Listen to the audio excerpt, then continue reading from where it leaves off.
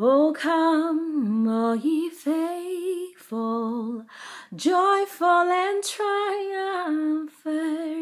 Oh, come ye, oh, come ye to Bethlehem. Come and behold him, born the King of angels come, let us adore him. Oh, come, let us adore him. Oh, come, let us adore him, Christ the Lord.